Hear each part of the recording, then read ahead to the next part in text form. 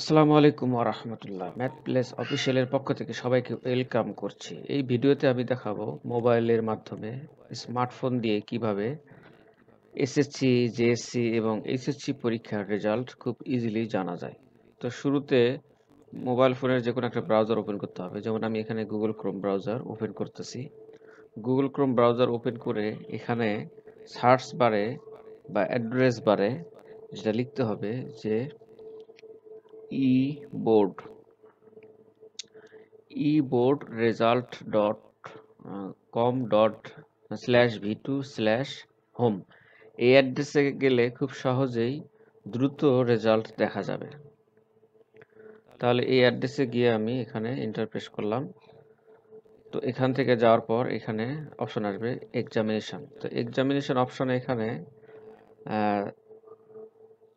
Choose করতে হবে। JSC এখানে প্রথমে আছে জেএসসি তারপরে JDC SSC Dakhil equivalent SSC Alam equivalent DIBS diploma in business study যে কোনো একটা সিলেক্ট করতে হবে। সাপোজ আমি এখানে এসএসসি পরীক্ষার রেজাল্ট দেখতে চাই, তাহলে এসএসসি এই অপশনটা সিলেক্ট করলাম। এরপর ইয়ার এখানে আমি সাপোজ দুই হাজার বিশ সালের রেজাল্ট দেখব। তাহলে দু হাজার বিশ সিলেক্ট করলাম। এরপরে বোর্ড সিলেক্ট করব এখানে, যেমন ঢাকা বোর্ড সিলেক্ট করলাম।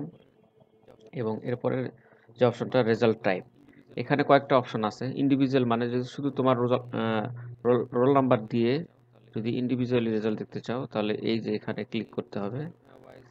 যদি প্রতিষ্ঠান ওয়াইজ প্রতিষ্ঠান ভিত্তিক, অর্থাৎ একটা শিক্ষা প্রতিষ্ঠানের পুরো রেজাল্ট যদি দেখতে চাও, তাহলে ইনস্টিটিউট রেজাল্ট দেখতে হবে। এরপর যে কেন্দ্রে পরীক্ষা দেওয়া হয়েছে, সেই কেন্দ্রে পুরো রেজাল্ট জানার জন্য এখানে এবং এখানে ডিস্ট্রিক্ট তাহলে আমরা যদি ইন্ডিভিজুয়াল দেখতে চাই, তাহলে ইন্ডিভিজুয়ালি ক্লিক করব। ইন্ডিভিজুয়ালি ক্লিক করার পরে এখানে রোল নাম্বার দিতে হবে। সাপোজ আমি এখানে একটা রোল নাম্বার দিই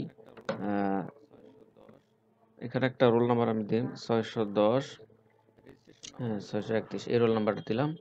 রেজিস্ট্রেশন নাম্বার দিলেও হবে, না দিলেও হবে, এটা অপশনাল দিলে কোনো সমস্যা নাই। এবং এখানে যে সিকিউরিটি কি চার ডিজিটের থাকবে, সেই সিকিউরিটি কিটা এখানে ব্যবহার করতে হবে। এখানে সিকিউরিটি কিওয়ার্ড এখানে পনেরো, সাতান্ন।